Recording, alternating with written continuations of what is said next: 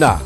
আমার শুরু মঞ্চ দিয়ে আমি এটা আমার সম্পর্কে হয়তো না জানার কারণেই এই কথাটা বা এই প্রশ্নটা আসছে। আমি হচ্ছি ঢাকা থিয়েটারের এবং আমাদের সমসাময়িক যত থিয়েটার কর্মী থিয়েটারে যোগ দিয়েছিল, তাদের মধ্যে সবচাইতে সিনসিয়ার একজন নাট্যকর্মী। কারণ আমি জীবনে একদিনের জন্য মঞ্চ থেকে নিজেকে সরাইনি বা আমি বিশ্রাম নেইনি। আমার ঢাকা থিয়েটারে দুটি নাটক আছে, যেটা নিয়মিতভাবে আমার পরিচালনায় প্রদর্শিত হয়। সুতরাং ওই অর্থে আমি ঢাকার থিয়েটার এবং মঞ্চ যারা করে নিয়মিত তাদের মধ্যে একজন।